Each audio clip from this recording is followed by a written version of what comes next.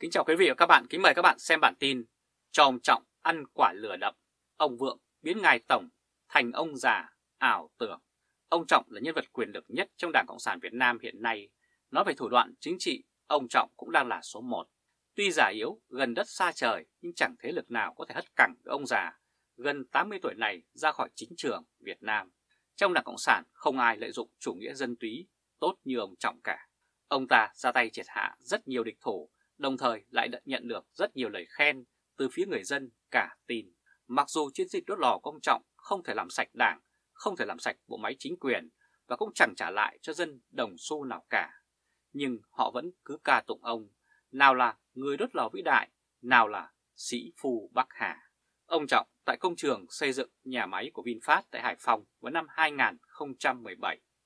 Trên thực tế, ông Trọng cao thủ như thế, nhưng so với những nhân vật không làm chính trị, có khi ông Trọng lại bị lừa một cách rất nhẹ nhàng. Núi cao còn có núi cao hơn là như vậy. Ở lĩnh vực chính trị, ông Trọng là vua, nhưng trong lĩnh vực kinh tế, ông Trọng chỉ là ông già ngây thơ mà thôi. Còn nhớ vào ngày 14 tháng 11, ông Nguyễn Phú Trọng đến thăm dự án tổ hợp sản xuất ô tô VinFast tại khu kinh tế Đỉnh Vũ, Hải Phòng. Để mời được ông Trọng tất nhiên không phải dễ. Ông Vượng vẽ ra một dự án, trong đó Việt Nam có thể tự lực, tự cường về công nghệ. Vì bị sỉ nhục là quản lý đất nước tồi sau 42 năm giải phóng mà Việt Nam không sản xuất nổi còn ốc nên Đảng Cộng sản, mà đặc biệt là ông Nguyễn Phú Trọng cũng muốn vơ lấy dự án này để mà vả vào mặt bọn phản động. Do đó dự án VinFast xuất hiện như là một cái phao lớn cho đảng và bản thân cho cá nhân ông Tổng Bí Thư. Sự thật, treo đầu dê bán thịt chó của VinFast đã bị lật tẩy. Tại công trường xây dựng nhà máy VinFast, ông Trọng nói rằng thời gian triển khai ngắn nhưng VinFast đã đạt được một số thành tiệu bước đầu. Nhất là việc quy tụ được đội ngũ chuyên gia hàng đầu của thế giới có kinh nghiệm dày dạn trong lĩnh vực sản xuất ô tô, tham gia nghiên cứu quản lý sản xuất. Lúc đó, báo chí nói rằng Tổng Bí Thư tin tưởng VinFast tiếp tục triển khai hiệu quả các bước tiếp theo nhất là việc đẩy nhanh tiến độ xây dựng nhà máy, tuyển dụng và đào tạo nhân sự, tích cực hợp tác với các đối tác hàng đầu trong và ngoài nước để thực hiện nghiên cứu và lựa chọn các giải pháp công nghệ cho dòng xe đầu tiên của VinFast sẽ ra mắt vào cuối năm 2018 với xe máy điện và cuối năm 2019 với xe ô tô. Nói chung, ông Trọng đặt niềm tin vào VinFast như là một doanh nghiệp tiên phong, phá bỏ lời nguyền Việt Nam không sản xuất nổi được còn ốc. Việc công ty VinFast thuê công ty Laos Design tại Thượng Hải, Trung Quốc nghiên cứu và phát triển nguyên chiếc xe ô tô xe điện VinFast E34, đồng thời thuê công ty này chịu trách nhiệm tìm và cung ứng linh kiện đã bị bại lộ. Điều này cho thấy ông Phạm Nhật Vượng đã mang hàng tàu về rồi chỉ việc dán mác hàng Việt, chứ chẳng phải tự túc công nghệ như VinFast đã thông báo trong Tổng Bí thư Nguyễn Phú Trọng. Rõ ràng ông Trọng đã dính quả lừa của ông chủ VinFast. Không những ông Trọng bị lừa mà cả Đảng Cộng sản Việt Nam cũng bị lừa nốt. Ông Vượng làm xe không phải vì tiền thì vì cái gì đây hay là sự ảo tưởng của Đảng Cộng sản? Thực ra mà nói, nếu ông Trọng có chút hiểu biết thì không thể dễ bị dụ đến như thế. Hãy xem công nghệ phụ trợ cho ngành công nghiệp ô tô của Việt Nam đang ở đâu. Ở mặt này thì Việt Nam đã thua Thái Lan rất xa. Tuy nhiên Thái Lan vẫn không làm ô tô riêng của họ. Thực lực đến đâu thì phát triển đến đó. Đấy là con đường phát triển bền vững. Vào hồi tháng 5 khi họp đại hội cổ đông, ông Phạm Nhật Vượng có nói rằng nếu chỉ vì tiền, Vingroup không dạy gì làm ô tô. Vậy nếu không vì tiền thì ông Vượng làm vì cái gì đây?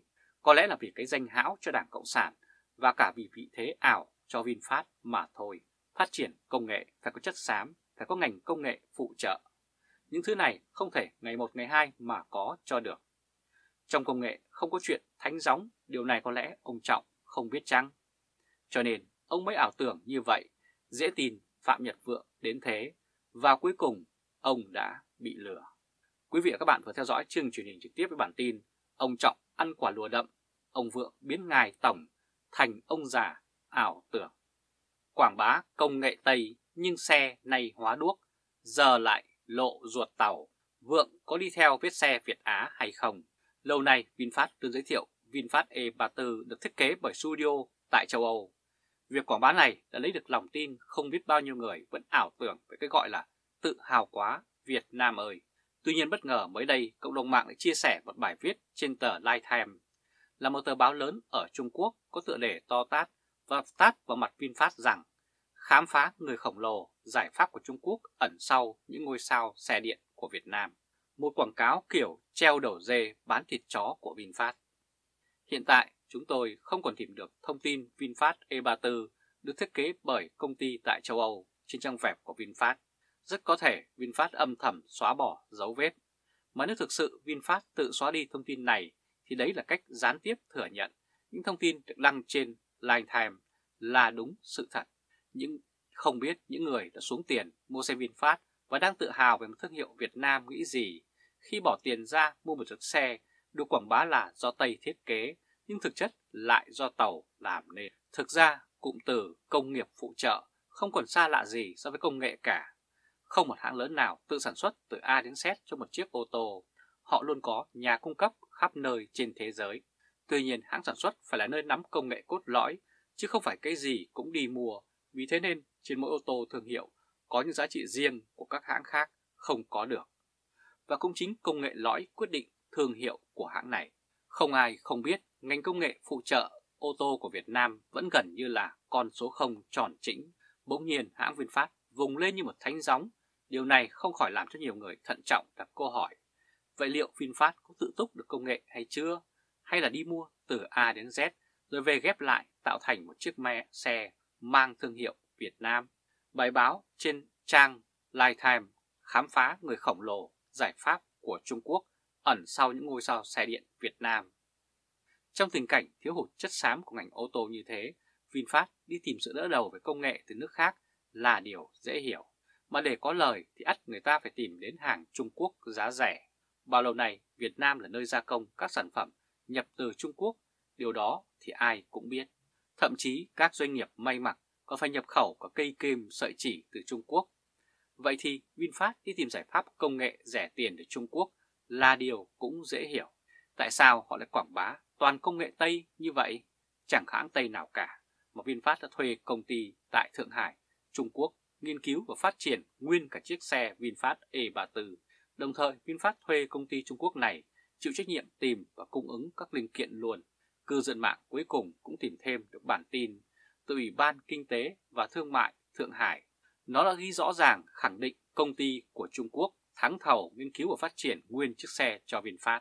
Việc của VinFast chỉ là nhập về mà bán. Vài ngày sau khi có các phát hiện này thì bản tin gốc Trung Quốc được ai đó yêu cầu xóa, gỡ bỏ. Tuy nhiên bản lưu trên Baidu thì vẫn còn. Hình ông Phạm Nhật Vượng trên tờ báo Line Time. Xem ra VinFast đang đi theo con đường của Việt Á, đặt hàng từ Trung Quốc từ A đến Z rồi nhập về Việt Nam làm thêm một số công đoạn nhỏ và biến thành xe thuần Việt. Cuối cùng bán cho những người có máu tự hào quá Việt Nam ơi. Khách hàng yêu nước, yêu Vin, dính bẫy. VinFast thì lại được tiền. Một thương hiệu tự định giá đến 23 tỷ đô qua những bài ca ngợi của báo chí trong nước. Một doanh nghiệp tự định giá lớn như thế, tại sao lại treo đầu dê, bán thịt chó như vậy? Chỉ có sự trung thực mới xây dựng được thương hiệu. Còn sự giả dối thì trước sau thương hiệu cũng sẽ sụp đổ. Ông Phạm Nhật Vượng lại không nghĩ được như thế thì quả là rất lạ. Muốn là một doanh nghiệp toàn cầu mà kinh doanh gian dối thì rất khó có thể tồn tại. Quý vị và các bạn vừa theo dõi chương trình truyền hình trực tiếp với bản tin Quảng bá công nghệ Tây nhưng xe này hóa đuốc, giờ lộ ra ruột tàu. Ông Vượng đi theo vết xe của Việt Á. Quý vị và các bạn hãy chia sẻ video này cho nhiều người biết và bấm nút theo dõi YouTube và Facebook của Thời báo .d để luôn được cập nhật những bản tin mới nhất, nhanh nhất và trung thực nhất. Từ Berlin, Cộng hòa Liên bang Đức chào các bạn và hẹn gặp lại các bạn ở bản tin lần tới. Trung Khoa Thời báo .d